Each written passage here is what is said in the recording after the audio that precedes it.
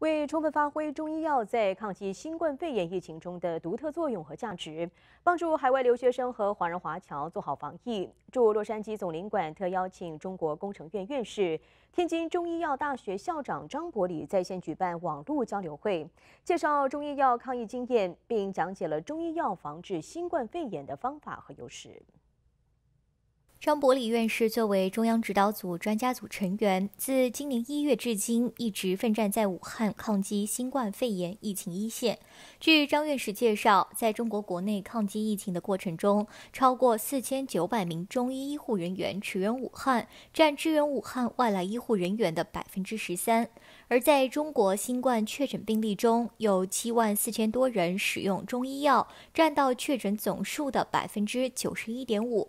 张院士表示，在没有特效药、没有疫苗的情况下，中医药治疗是中国对抗新冠病毒中较有效的治疗方案。张伯礼院士指出，中医药在治疗轻症患者、降低转重率方面效果显著，而中西医结合则对改善重症患者症状发挥了四两拨千斤的作用，大幅降低了重症患者的死亡率。此外，中医中针灸、按摩、八段锦等疗法能够有效调节康复患者的心肺功能和血热等症状，帮助复阳患者排解痰栓，优势明显。针对美国疫情防控严峻形势，张院士强调，疫情不分国界，病魔不分人种，并叮嘱海外华人华侨外出一定要戴好口罩，避免人际间近距离接触，严格实行居家隔离措施，并就中医药防治新冠肺炎的有效性、中西医结合治疗、防治汤药选择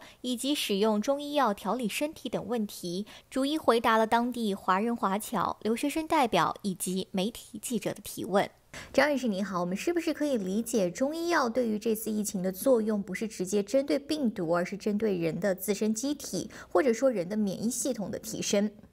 应该说，我们中医治疗，呃，中医药治疗新冠，它主要的不是针对病毒本身，而是它针对调高呃提高你机体的免疫能力，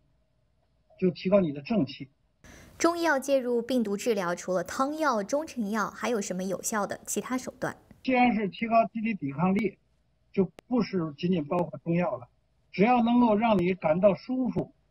对你机体有好处，都可以采用。刚才我讲的生活方式，别熬夜，别疲劳，这也是一种方法呀。饮食要清淡，不要暴饮暴食，也是一种方法。保持大便通畅，都是。当然了，